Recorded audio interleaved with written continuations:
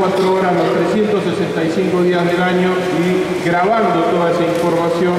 como lo estamos haciendo ahora. Nuestra apuesta por la seguridad es central, no hay nada que podamos hacer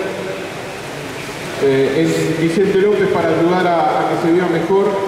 Si es un distrito inseguro y vamos a seguir trabajando con esta premisa, vamos a seguir haciendo anuncios y este centro de monitoreo donde estamos trabajando, que ustedes saben que no es el definitivo donde queremos estar, es un centro de monitoreo que nos va a permitir crecer hasta el objetivo que nos hemos puesto para fin de año, que es llegar a las 400 cámaras.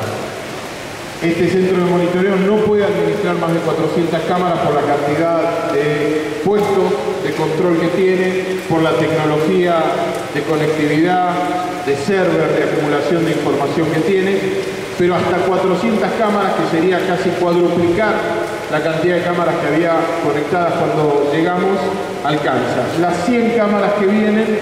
son cámaras que vamos a estar dedicando principalmente a accesos, estaciones de tren, eh, zonas de, de, borde del distrito, General Paz, Constituyente, Paraná, muchos de los lugares por donde entra o se va el delito que hemos identificado.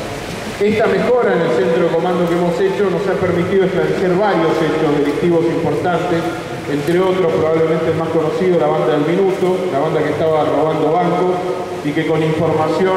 de nuestro centro de cámaras, un trabajo conjunto con las fiscalías y la policía, logramos desarticular. Pero además de esas muchas más.